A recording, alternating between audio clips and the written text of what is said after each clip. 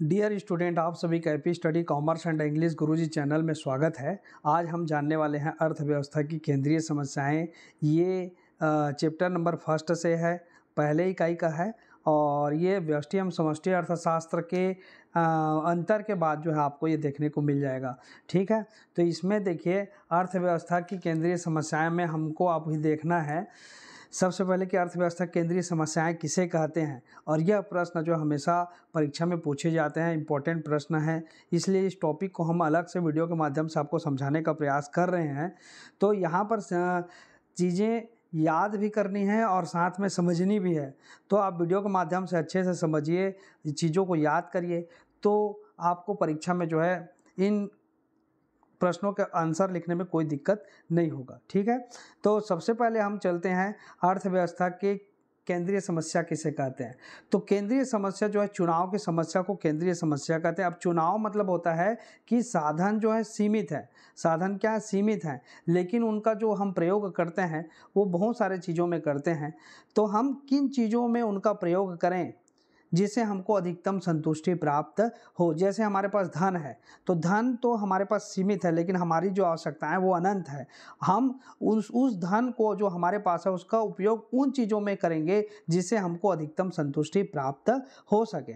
ऐसी जो है अर्थव्यवस्था में भी जो संसाधन जो है दुर्लभ हैं। भूमि, श्रम, पूंजी, साहस संगठन, ठीक है, और उनका वैकल्पिक प्रयोग होते हैं, वैकल्पिक प्रयोग होते हैं। चलिए हम इसको, इस में लिखा हुआ उसके माध्यम से समझते हैं। तो अर्थव्यवस्था के साधन जो है संसाधन दुर्लभ है और उनके वैकल्पिक प्रयोग होते हैं जिसके कारण चुनाव की समस्या का सामना करना पड़ता है। चुनाव की समस्या का सामना करना पड़ता है। इस प्रकार समस्त अर्थव्यवस्थाओं द्वारा चुनाव का दबाव किसका दबाव? चुनाव चुनाव मतलब चयन की समस्या। चुनाव का दबाव ही अर्थव्यवस्था की केंद्रीय समस्या कहलाती है। अर्थव्यवस्था की, की क्या कहलाती है? केंद्रीय समस्या कहलाती है। कि क्या चीज़? चुनाव का दबाव या चुनाव की समस्या। ठीक है? हमारे पास साधन क्या सीमित हैं, लेकिन उसका वैकल्पिक प्रयोग बहुत सारे जगहों में हो सकता है। तो उनमें से किसमें हम अधिक मात्रा या किसमें उपयोग करें जिससे उसकी उपयोगिता सबसे सर्वाधिक मिले? दूसरे शब्दों में हम कह सकते हैं कि सीमित साधनों के वैकल्पिक सीमित साधनों के वैकल्पिक उपयोगों में में चयन की समस्या को अर्थव्यवस्था की केंद्रीय समस्या माना जाता है। हमारे पास जो साधन है, वो सीमित हैं और उसका विभिन्न उपयोग है। अब उन उपयोगों में से हम ऐसे चीज़ों में उनका उपयोग करेंगे, जिससे हमको जो अधिकतम संतुष्टि प्राप्त हो सके। ठीक है? चलिए, आगे बढ़ते हैं। तो ये साधनों के आवंटन की बुनियादी समस्या के तीन पहलू हैं, जिन, जिन्हें अर्थव्यवस्था की तीन केंद्रीय समस्याएँ कहा जाता है। यह तीन केंद्रीय समस्या है। कौन कौन सा तीन केंद्रीय समस्या है? पहला है, क्या उत्पादन किया जाए? क्या उत्पादन किया जाए? दूसरा है, कैसे उत्पादन किया जाए? पहला हो गया, क्या उत्पादन किया जाए? दूसरा, कैसे उत्पादन किया जाए? और तीसरा जो पॉइंट है, वो किसके लिए उत्पादन किया जाए? क्या उत्पादन किया जाए, कैसे उत्पादन किया जाए और किसके लिए उत्पादन किया जाए। ये तीन टॉपिक के ऊपर आज हम डिस्कस करने वाले हैं और परीक्षा में जब आता है कि अर्थव्यवस्था केंद्रीय समस्याओं का वर्णन कीजिए तो आपको लिखना है कि अर्थव्यवस्था में संसाधन जो है दुर्लभ हैं और इनके वैकल्पिक प्रयोग हैं। इनमें चुनाव की समस्या को ही अर्थव्यवस्था की केंद्रीय समस्या कहते हैं और अर्थव्यवस्था की तीन केंद्रीय समस्याएँ हैं, जिनको तीन भागों में बांटा गया है। पहला क्या? तो पहला, क्या उत्पादन किया जाए? दूसरा, कैसे उत्पादन किया जाए? और तीसरा, किसके लिए उत्पादन किया जाए? क्या, कैसे और किसके लिए उत्पादन किया जाए? इन तीनों टॉपिक के ऊपर आज एक एक करके बारी बारी से डिस्कस करेंगे और आप भी परीक्षा में जब आएगा तो इसी प्रकार से लिखना है आपको। ठीक है? चलिए। पहला है क्या उत्पादन किया जाए? वाट डू प्रोड्यूस पहला जो है क्या उत्पादन किया जाए यहाँ पर देखिए। तो क्या उत्पादन किया जाए? तो प्रत्येक अर्थव्यवस्था को यह चयन चुनाव करना पड़ता है, प्रत्येक अर्थव्यवस्था को यह चुनाव करना पड़ता है कि वह अपने सीमित संसाधनों के विभिन्न किन किन वस्तुओं का कितनी मात्रा में उत्पादन करें। प्रत्येक अर्थव्यवस्था को चुनाव का सामना चुनाव करना पड़ता है कि वह अपने सीमित साधनों से किन किन वस्तुओं का कितनी मात्रा में उत्पादन करे। क्लियर है? चूँकि एक वस्तु का अधिक उत्पादन सामान्यतः दूसरी वस्तु के उत्पादन को कम कर देता है। अगर मान लीजिए हम एक वस्तु का उत्पादन अधिक करेंगे तो दूसरी वस्तु का उत्पादन कम हो जाएगा। कहने का तात्पर्य है कि प्रत्येक अर्थव्यवस्था में यह चुनाव करना पड़ता है हमको कि अपने सीमित संसाधन, जैसे हमारे पास भूमि है, भूमि भूमि, श्रम, पूंजी, साहस, संगठन। तो भूमि, श्रम, पूंजी, मान लिया जाए भूमि है, अब उस ज़मीन में हमको कोई वस्तु पैदा करनी है और हमको गेहूँ और चावल दोनों की आवश्यकता है तो हम किस वस्तु का कितना उत्पादन करें? ये हो गई चयन की समस्या, ठीक है? कितनी मात्रा में उत्पादन करें? चूँकि वस्तु का अधिक उत्पादन सामान्यतः दूसरी वस्तु के उत्पादन को कम कर देगा। मान लीजिए हम गेहूँ का उत्पादन ज़्यादा करेंगे, हमारे पास अगर पाँच एकड़ खेत है, उसमें हम चार एकड़ खेत में गेहूँ लगाएँगे और एक एकड़ खेत में धान लगाएँगे तो सामान्य सी बात है कि गेहूँ का उत्पादन ज़्यादा होगा और धान का उत्पादन कम हो जाएगा। उसी प्रकार जस्ट इसके उल्टा करेंगे, चार एकड़ में धान लगाएँगे, एक एकड़ में गेहूँ तो उसमें भी वैसे ही होगा कि धान की मात्रा बढ़ जाएगी, गेहूँ की मात्रा कम हो जाएगी। तो हमको जो है, किस प्रकार से उत्पादन करना है? क्या उत्पादन किया जाए? इसका निर्णय लेना है, चुनाव करना है। यही समस्या पहला है कि क्या उत्पादन किया जाए। तो प्रत्येक अर्थव्यवस्था को चुनाव करना पड़ता है। वह अपने सीमित संसाधनों से किन किन वस्तुओं का कितनी कितनी मात्रा में उत्पादन करे? चूँकि एक वस्तु का अधिक उत्पादन सामान्यतः दूसरी वस्तु के उत्पादन को कम कर देता है। ये क्लियर हो गया होगा? चलिए आगे बढ़ते हैं। तो क्या उत्पादन किया जाए? इसके दो पहलू हैं। क्या उत्पादन किया जाए के दो पहलू हैं। पहला है कि किन किन संभावित वस्तुओं का उत्पादन किया जाए। क्या उत्पादन किया जाए? समस्या के दो पहलू। पहला है कि किन किन संभावित वस्तुओं का उत्पादन किया जाए और दूसरा है कि कितनी मात्रा में उत्पादन किया जाए। कितनी मात्रा में उत्पादन किया जाए। क्लियर हो गया? क्या बोल रहा है कि किन किन वस्तुओं का उत्पादन किया जाए और कितनी मात्रा में उत्पादन किया जाए? तो एक अर्थव्यवस्था को उपभोक्ता वस्तुओं जैसे चावल गेहूँ, कपड़े आदि व पूंजीगत वस्तुओं मशीन उपकरण आदि के बीच उत्पादन के लिए चुनाव करना पड़ता है। तो पहला पॉइंट में आपको याद रखना है कि किन किन वस्तुओं का उत्पादन किया जाए और कितनी मात्रा में उत्पादन किया जाए। किन किन वस्तुओं का उत्पादन किया जाए और कितनी मात्रा में उत्पादन किया जाए। एक अर्थव्यवस्था को उपभोक्ता वस्तुओं जैसे चावल, गेहूँ, कपड़े आदि व पूंजीगत वस्तुओं, मशीन उपकरण आदि के बीच उत्पादन के लिए चुनाव करना। हमको अब इसमें दो पॉइंट को याद करना पड़ेगा।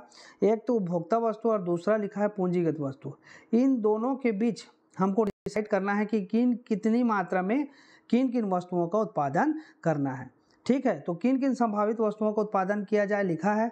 तो किन किन संभावित वस्तु तो उत्पादन में यही आएगा कि पहला पूंजीगत और दूसरा उपभोक्ता वस्तु। क्लियर है? किन किन वस्तु में? पूंजीगत वस्तु और उपभोक्ता वस्तु। जैसे पूंजीगत वस्तु में क्या क्या आएगा? मशीन, उपकरण आदि और उपभोक्ता वस्तु में आएगा चावल, गेहूँ, कपड़े आदि। इन दोनों वस्तुओं के संभावित वस्तुओं का उत्पादन किया जाए। इसका चयन करेंगे, इसका चुनाव करेंगे। दूसरा लिखा है, दूसरा जो पॉइंट है वह है कि कितनी मात्रा में उत्पादन किया जाए। कितनी मात्रा में उत्पादन किया जाए तो वस्तुओं का चुनाव करने के पश्चात, मान ले जाए हमने पूंजीगत वस्तु में अगर मशीन उत्पादन करना है और उपभोक्ता वस्तु में अगर चावल उत्पादन करना है तो हम पहले तो चयन कर लिए कि चावल, गेहूँ, कपड़े में किसका उत्पादन करना है? तो अगर चावल का करना है और इसमें मशीन में, मशीन का करना है तो दोनों वस्तुओं में फिर हम ये डिसाइड करेंगे कि मशीन कितना पैदा करना है मतलब कितना उत्पादन करना है और चावल का कितना उत्पादन करना है। ठीक है? ये दोनों डिसाइड करना है। तो वस्तुओं का चुनाव करने के पश्चात उनकी मात्रा का भी निर्णय लेना होता है कि किन वस्तुओं का कितनी मात्रा में उत्पादन किया जाए। किन वस्तुओं का कितनी मात्रा में उत्पादन किया जाए? ये दोनों पहलुओं को आप समझना है। इस समस्या का मूल सिद्धांत अधिकतम कुल संतुष्टि प्राप्त करना है। अब ये समझ में होंगे कि इस, इन दोनों का काम क्या है। तो हम ऐसे चीज़ों का उत्पादन करेंगे जिससे हमको अधिकतम संतुष्टि प्राप्त हो। क्लियर हो गया होगा? चलिए तो पहले में हमको याद रखना है कि क्या उत्पादन किया जाए। क्या क्या याद रखेंगे? क्या उत्पादन किया जाए? क्या उत्पादन किया जाए? में दो दो पहलू हैं। कितने पहलू हैं? दो पहलू। पहला, किन संभावित वस्तुओं का उत्पादन किया जाए? अब संभावित वस्तु में दो वस्तु, एक तो पूंजी पूंजीगत वस्तु और एक उपभोक्ता वस्तु, ठीक है? दूसरा, कितनी मात्रा में उत्पादन किया जाए? तो जो भी चयन कर लिए हैं, वस्तुओं का चयन करने के पश्चात उनकी मात्रा का भी निर्णय लेना होता है कि किन वस्तुओं का कितनी मात्रा में उत्पादन किया जाए और इस समस्या का मूल सिद्धांत अधिकतम कुल संतुष्टि प्राप्त करना या करवाना है। क्लियर हो गया होगा, ठीक है? तो क्या उत्पादन किया जाए के बारे में आप समझ गए? पहला तो चुनाव की समस्या हो गई, साधन सीमित हैं और उससे हम चुनाव करेंगे तो चुनाव में दो प्रकार की, एक किन संभावित वस्तुओं का उत्पादन किया जाए और कितनी मात्रा में उत्पादन किया जाए, ये दो हो गया। दूसरी ओर चलेंगे अब अब हम दूसरे पहलू की ओर आगे बढ़ेंगे तो दूसरा है कि कैसे उत्पादन किया जाए। यहाँ पर देखिए लिखा है। अब हम दूसरा में चलेंगे तो दूसरा में है कि कैसे उत्पादन किया जाए, कैसे उत्पादन किया जाए यहाँ पे। तो इसके बारे में हम पढ़ेंगे। चलिए आगे बढ़ते हैं। कैसे उत्पादन किया जाए? ये हो गया कैसे उत्पादन किया जाए? अब यहाँ पर देखिए लिखा है। यहाँ पर यह लिखा है कि यह समस्या यह समस्या, उत्पादन की जाने वाली वस्तुओं के उत्पादन में प्रयुक्त तकनीक के चयन की समस्या है। कैसे उत्पादन किया जाए? तो तकनीक की समस्या, किसकी समस्या हो गई? तकनीक के चयन की समस्या। तकनीक मतलब आप मशीन के माध्यम से, कि श्रम के माध्यम से, कि पूंजी के माध्यम मतलब मशीन पूंजी प्रधान तकनीक हो गया और एक श्रम प्रधान तकनीक, दो तकनीकें हैं कि आप अधिक मात्रा में पूंजी लगाकर मशीनों का उपयोग करके उत्पादन कार्य कर सकते हैं। दूसरा, अधिक मात्रा में श्रमिकों को रख करके श्रम के शक्ति के द्वारा उत्पादन कार्य कर सकते हैं। ये दो तकनीक है। तो यह समस्या उत्पादन की जाने वाली वस्तुओं के उत्पादन में प्रयुक्त तकनीक की समस्या है। एक वस्तु का उत्पादन विभिन्न तकनीक प्रयोग से किया जा सकता है। और दूसरा लिखा है, सामान्य तौर पर तकनीक, तकनीकों को निम्न वर्ग में विभाजित किया जाता है। तकनीक को किसमें विभाजित किया जाता है? निम्न वर्ग में। पहला है, श्रम प्रधान। पहला क्या लिखा है? श्रम प्रधान। श्रम प्रधान का मतलब वही होता है कि श्रम की अधिकता होती है, जिसमें मनुष्य, मानवीय श्रम के माध्यम से वस्तुओं का उत्पादन कार्य किया जाता है। मशीनों का प्रयोग मतलब पूंजी का प्रयोग कम करके मानवीय श्रम के माध्यम से उत्पादन कार्य किया जाता है। तो हम इस लाइन के माध्यम समझ सकते हैं, इससे अधिक, इसमें अधिक श्रम, इसमें अधिक श्रम व कम पूंजी मतलब मशीनों के रूप में जो प्रयोग होता है, पूंजी किसमें लगेगा? मशीन को खरीदने में। तो मशीनों का उपयोग कम करके हम श्रम के माध्यम से अब अगर कार्य कर रहे हैं तो उसका बोलते हैं श्रम प्रधान तकनीक, जिसमें श्रम का उपयोग अधिक किया जाता है और पूंजी का प्रयोग कम किया जाता है। क्लियर हो गया? दूसरा है पूंजी प्रधान तकनीक। कौन सी प्रधान तकनीक? पूंजी प्रधान तकनीक। पूंजी प्रधान तकनीक में क्या होता है? तो इसमें अधिक पूंजी व कम श्रम का प्रयोग किया जाता है। अधिक पूंजी मतलब अधिक पूंजी लगा करके हम क्या करेंगे? नए नए टेक्नोलॉजी के मशीन खरीद लेंगे। उस वस्तु के उत्पादन से संबंधित जो भी मशीनें आएँगी, उसको हम खरीद करके उस मशीनों के माध्यम से हम जो है उत्पादन कार्य करेंगे, और जिसमें कम से कम श्रमिकों की आवश्यकता या कम से कम मानवीय श्रम की आवश्यकता होगी। तो यहाँ पर पूंजी प्रधान तकनीक में क्या होता है? पूंजी अधिक लगता है और श्रम की मात्रा कम होती है। जबकि श्रम प्रधान तकनीक में क्या होता है? श्रम अधिक लगता है और पूंजी की मात्रा कम होती है। इन दोनों पॉइंट को आपको याद रखना है। पहले पॉइंट में हम क्या उत्पादन करें? दूसरा है, कैसे उत्पादन करें? कैसे उत्पादन किया जाए? पहला में हम पढ़ लिए कि क्या उत्पादन किया जाए और दूसरा में हम पढ़ रहे हैं कि कैसे उत्पादन किया जाए। तो कैसे में यहाँ पर तकनीक के चयन की समस्या आ गई कि श्रम प्रधान तकनीक से करेंगे कि पूंजी प्रधान तकनीक से करेंगे। ये समझ गए होंगे। अब इसके चयन के, इसके चयन के आधार पर विभिन्न बातों को ध्यान में रखा जाता है, जैसे भारत में श्रम बहुतायत मात्रा में पाया जाता है। भारत में अधिकांश लोग जो हैं, लगभग लगभग बेरोजगारी की समस्या भारत में अधिक है। अब यहाँ पर क्या हो रहा है? बहुतायत मात्रा में श्रमिकों की संख्या है, अतः यहाँ श्रम गहन तकनीक को विशेष महत्व दिया जाता है। श्रम गहन तकनीक को विशेष महत्व दिया जाता है। लेकिन अब धीरे धीरे जो है, पूंजीकरण की ओर आगे हो रहा है और नए नए मशीनों का प्रयोग करके, आधुनिकीकरण की ओर आगे बढ़ करके उत्पादन कार्य किया जा रहा है, ठीक है? अब हम आगे बढ़ते हैं। इसके बाद देखिए, कैसे उत्पादन करें? कैसे उत्पादन करें का आधारभूत सिद्धांत यह है कि उत्पादन के साधनों का संयोग इस प्रकार किया जाए ताकि न्यूनतम लागत पर, न्यूनतम लागत घर हो गया ये पर अधिकतम उत्पादन या अधिकतम उत्पादित हो सके, जबकि दुर्लभ संसाधनों का न्यूनतम उपयोग हो। तो हम कैसे उत्पादन करें कि हमको उन उन जो उत्पादन के साधनों का ऐसा संयोग करना है या ऐसा संयोग लगाना है कि कम लागत पे अधिक से अधिक उत्पादन हो सके। क्लियर हो गया? अब हम चलते हैं तीसरी समस्या, जो कि है किसके लिए उत्पादन किया जाए? पहला हमने पढ़ा क्या उत्पादन किया जाए, दूसरा कैसे उत्पादन किया जाए और तीसरा किसके लिए उत्पादन किया जाए। क्लियर है? तब किसके लिए उत्पादन किया जाए, ये तीसरा पॉइंट है। किसके लिए किसके लिए उत्पादन किया जाए? चलिए, इसमें किसके लिए उत्पादन किया जाए? तो यह समस्या वर्ग के लोगों के चयन से संबंधित है। किससे? वर्ग के लोगों से। यह समस्या वर्ग के लोगों के चयन से संबंधित है। एक अर्थव्यवस्था में विभिन्न वर्ग के लोग कम गरीब गरीब कम कम अमीर अमीर रहते हैं। आप देखे होंगे भारत में अधिकांश जो जनसंख्या है, वो गरीब तबके की है और फिर उसके बाद मध्यम वर्ग है और अमीर वर्ग है।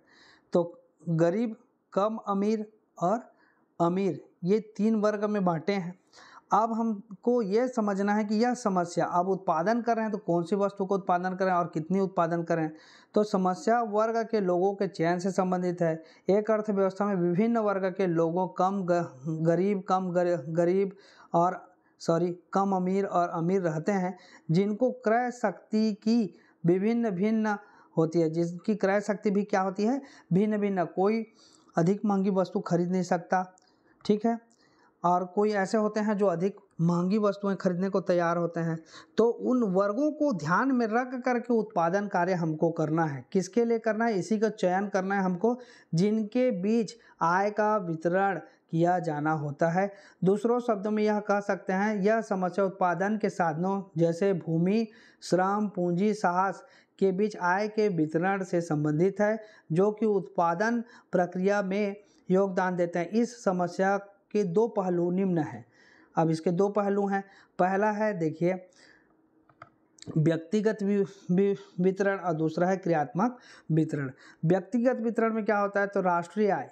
राष्ट्रीय आय का विभिन्न वर्गों के व्यक्तियों के बीच वितरण किस प्रकार हो? दो पहलू, राष्ट्रीय आय का विभिन्न वर्गों के व्यक्तियों के बीच वितरण किस प्रकार का हो? दूसरा है क्रियात्मक वितरण।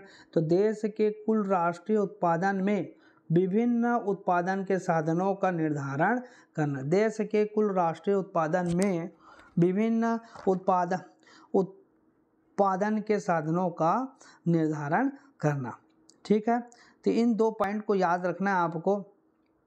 इस प्रकार, इस समस्या का मूल सिद्धांत यह सुनिश्चित करना है कि प्रत्येक उत्पादन के साधनों की आवश्यकताएँ अधिकतम, संभावित सीमा तक पूरी हो जाएँ। तो ये है अर्थव्यवस्था की केंद्रीय समस्याएँ। अब हम संक्षिप्त तौर पर एक बार और दोहरा देता हूँ, क्या उत्पादन किया जाए, कैसे उत्पादन किया जाए और किसके लिए उत्पादन, क्या, कैसे और किसके लिए, इन तीन पॉइंट को याद रखना क्या, कैसे और किसके लिए, ठीक है? क्या में दो प्रकार की समस्या, दो प्रकार की समस्या, एक तो किन संभावित वस्तुओं को उत्पादन किया जाए और दूसरा कितनी मात्रा में किया जाए। दूसरा, कैसे उत्पादन किया जाए तो ये तकनीक चयन की समस्या बता दिया। पहले में क्या तक समस्या बता रहा है? तो पहले में जो है, चुनाव की समस्या। ये देखिए, पहले में साधनों के चुनाव की समस्या। दूसरा में जो है, तकनीक के चुनाव की समस्या। और तीसरा में क्या बता रहा है कि लोगों के चयन की समस्या। लोगों मतलब वर्ग के लोगों के चयन की समस्या। तो इसमें व्यक्तिगत वितरण और दूसरा क्रियात्मक वितरण। इस प्रकार से जो है, आपको याद रखना है। इन तीनों पॉइंट को याद रखना पड़ेगा कि क्या उत्पादन किया जाए, कैसे उत्पादन किया जाए और किसके लिए उत्पादन किया जाए। तो क्या में दो पॉइंट और याद रखना है आपको? ठीक है, कितनी मात्रा में? यहाँ पर ये देखिए, किन संभावित वस्तुओं का उत्पादन कितनी मात्रा में? और दूसरा में श्रम प्रधान और पूंजी प्रधान तकनीक और तीसरा में व्यक्तिगत और क्रियात्मक वितरण। इन दोनों को आपको याद रखना है। तो ये प्रश्न जो है आपके जो है अच्छे से समझ में आ जाएँगे। ठीक है तो इस टॉपिक में बस इतना ही, आज के लिए बस इतना। नेक्स्ट टॉपिक में जो है इसके और आगे जो महत्वपूर्ण टॉपिक है, उसके ऊपर डिस्कस करेंगे। तो आज के लिए बस इतना ही। चैनल पे नया है तो चैनल को सब्सक्राइब कर दीजिए बेल आइकन को प्रेस कर दीजिए और जितने भी कक्षा बारहवीं के स्टूडेंट हैं, उन तक इस वीडियो को अवश्य पहुंचाइए। अधिक से अधिक व्यू आएगा तो मुझे भी इससे मोटिवेट होता हूँ और मैं आपके लिए वीडियो लगातार बना करके लाने का प्रयास करता हूँ। वीडियो को देखने के लिए आप सभी का बहुत बहुत धन्यवाद।